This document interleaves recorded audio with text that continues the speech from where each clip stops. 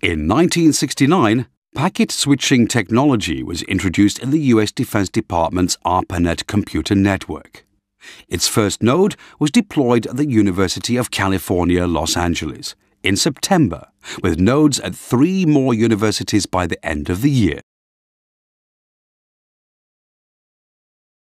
Email was invented by Raymond Tomlinson, who sent the first message between two co-located computers. By 1973, email accounted for some three quarters of the activity on ARPANET. In France, in 1972, under the leadership of Louis Pouzin, development began of a packet switch network called Cyclade. It showed that hosts could be given the role of delivering data, resulting in a simpler design for packet switches. The Transmission Control Protocol, TCP, was designed in 1973 by Robert E. Kahn and Vinton G. Cerf in the United States.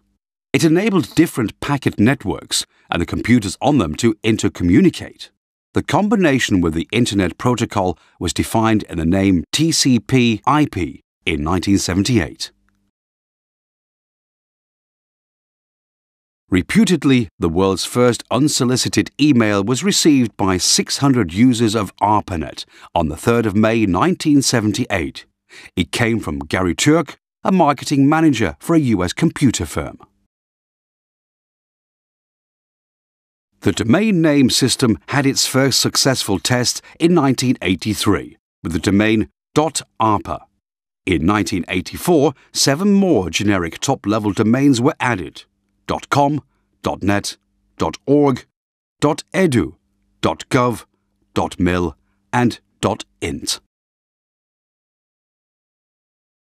In 1989, at the European Organization for Nuclear Research, CERN, Tim Berners-Lee, working with Robert Cailliau, proposed a distributed hypertext system that became known as the World Wide Web. The necessary software was developed in 1990, and crucially, the system was used not only within CERN, but also made freely available to all. The first widely available web browser, Mosaic, was made public in 1993. Some of its authors produced the browser Netscape Navigator in 1994, and soon after, Microsoft used Mosaic as the basis for Internet Explorer. AliWeb, a search engine for the World Wide Web, was created in 1993, soon followed by others, including Yahoo, AltaVista, and Lycos. Google was established in 1998.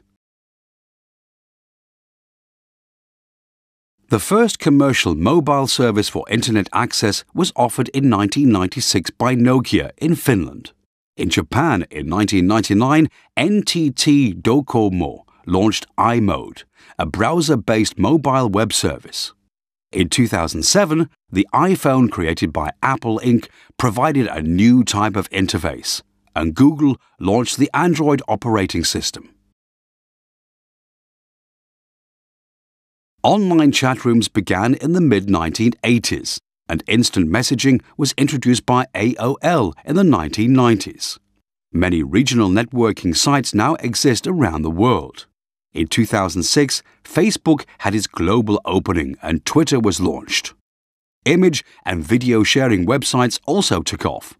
Flickr was founded in 2004 and YouTube in 2005. ITU statistics indicate that in 2012, more than a third of the world's population are Internet users, and numbers continue to climb.